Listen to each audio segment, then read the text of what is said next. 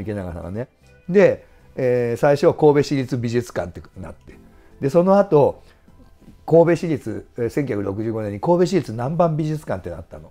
で俺たちが中学高校の頃はここ南蛮美術館だったの。でここではなんかよく見に行ったもんだよ。建物もちょっとデコでかっこいいんだよ。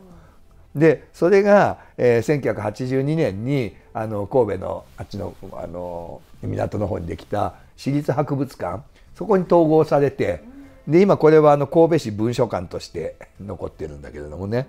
まあ、ここにこう寄贈されて、まあ、そういうその池永はさんっていう大変な南蛮美術の収集家がこの作品をまあ買ったわけですよ。1935年に。その2年後に生まれたその池永はさんの三男。三男の方が池永淳さんって言ってこの方はですねなんとあのイエズス会の六甲学院から上智大学に進まれてでそのまま司祭になられて最終的に大阪の大司教までおすごい。なった方だからこのまさにこのイエズ会のザビエルのこの肖像をお父さんが買った2年後に生まれた、まあ、あの三男の息子が